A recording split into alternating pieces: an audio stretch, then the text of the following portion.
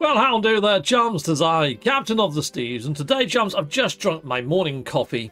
And uh, Sean Murray, Sean of the Murrays, has gone stuck on up a post over on the Twitterverse. Let's jump it over to the Twitterverse and I'll show you what he's tweeted. Or X'd. Is it X'd? I don't know. Tweeted, X'd. Doesn't sound right, does it? I'm still not used to this whole X malarkey. You know, anyway, so there go. Sean Murray, Hotfix 4.64 is releasing now on all platforms with lots of fixes and improvements. Let's jump on over and let's take a quick look-see, shall we? Okay, so here we go. Orbitals patch 4.64. Hello, everyone! And then the usual bump. And here we have a whole ream of fixes. Let me see if I can zoom in a little bit for the for you guys and the view of us. There we go. So here we go. There's quite a lot to do with frigates here. A lot to do with how the holograms appear, how the communications appear. It's like the living frigates at the moment make out that they've got a, an, a whole freaking fleet of people inside them or whatever. A whole crew. That's the word I was looking for. And yeah, no, they haven't. okay? Yeah, so scrolling down here, there's quite a lot of bits and bobs like that. And Going past all of that, you're going to get to this. So added a set of fighter class wings that were missing from the Starship Fabricator options. Don't even know what wings they are. I'd imagine ship hunters amongst you and the keen-eyed eagles amongst you would know. Faced a number of UI issues in the Starship Fabricator, particularly the ultra-wide resolutions fixed an issue with the Starship Fabricator that could incorrectly bring up warnings about not having enough ship components to finalise design after the design had already been locked in. That's a bit of an oddity. I didn't come across that. Alright, I guess it must have been a thing. Oh, here we go. Here's some interesting ones. The mannequins around the space station, exosuit technology merchants' kiosks are now procedurally generated. Heck yeah. I'm wondering if they missed a trick there, because a lot of the tubes I saw were empty. Okay, anyway, we'll have to check that one out at some point, people. Fixed an issue that could cause asteroid fields near to the player's capital ship to flicker. Okay. I have seen that, yes. I've also seen them flickering near to the actual space stations as well. They just all go white. That's not exactly flickering. But yeah, they, they, they lose all their textures all of a sudden. Fixed a number of minor visuals issues in space stations. Nice, coolio. Fixed an issue that caused some new space station base parts to clip off the edge of the screen at the construction research terminal. Yes, I noticed that when I unlocked them all. Heck yes. Added uh, in, in the UI. So when you go to the base, yeah, you know what I mean. Added a sign to indicate the location of the teleporter within the space station. Did it need that? Ooh. I think everybody knew where it was, but okay, fine. Improved the visual responsiveness of interactable items on the space station. Okay, cool, yeah, sweet. Fix a number of collision issues on the space station. Cool. Improve the pad selection when teleporting to the space station.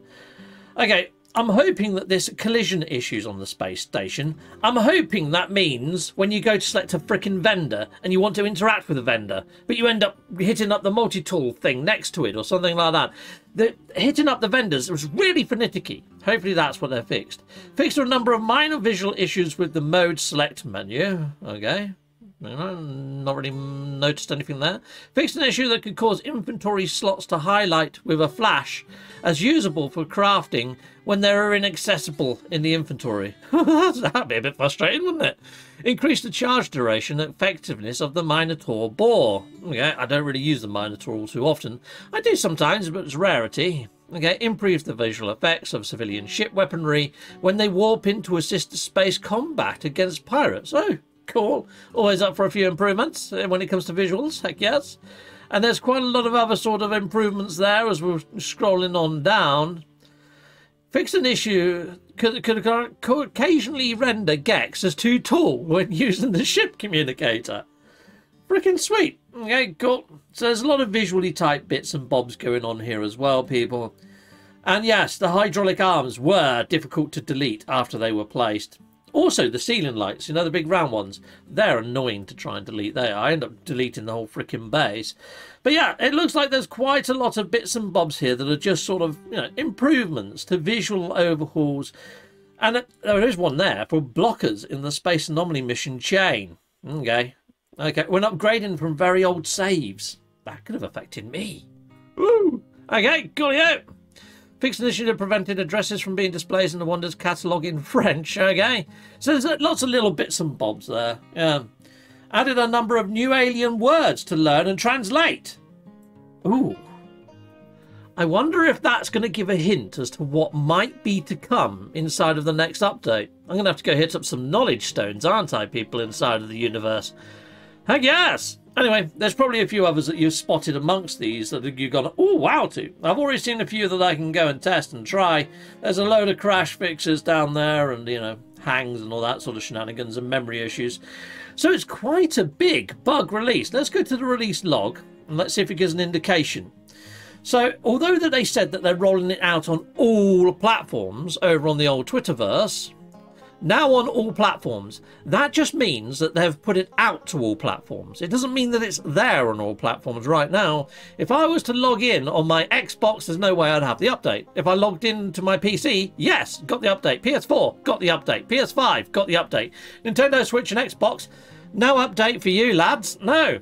I mean, the last thing that the PC and Xbox got, apparently, was just the massive, great big orbital bug fixes there. There's been two other patches that have gone out that they haven't had yet, apparently. Oh no, no. 6.1 they missed, 6.2 they missed, they got 6.3. This is now 6.4. Will it go out or will you miss a couple? Who freaking knows, people? Who knows what's going on? But yeah, to see if it is on your platform, just check the release log page. Right now, it's not on Xbox, it's not on Switch. That could change. Anyway, people inside the view of us, hopefully this has been quite helpful to you guys out there. Thank you. And even if it hasn't, you know, still smash that like. Why not? Yeah, it pushes out for the algorithm. Do me a favour. Yeah, plug me into a Sega. Yeah. It's an oddity, isn't it, that we now don't have Sega consoles. You know, we had Nintendo and Sega that used to go head to head, and Sega sort of dropped out of the race. And then PlayStation and Sony entered the fray. And now we've got Sony and Xbox going toe to toe. I am hearing though that Xbox, their next console, might actually link into the Steam online store as well as their own Xbox store, which could be an interesting sort of breakthrough. It would be nice to see Sony also latch on to Steam too, making it more of an open audience and open platform. And I'm hoping we see less of this war between consoles. Because, you know, I miss having a Sega console as a choice. I loved having a Nintendo and a Sega both had their pros and cons.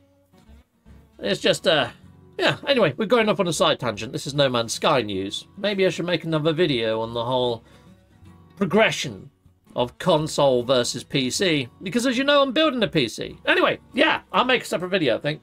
Until next time, goodbye, goodbye, and goodbye again.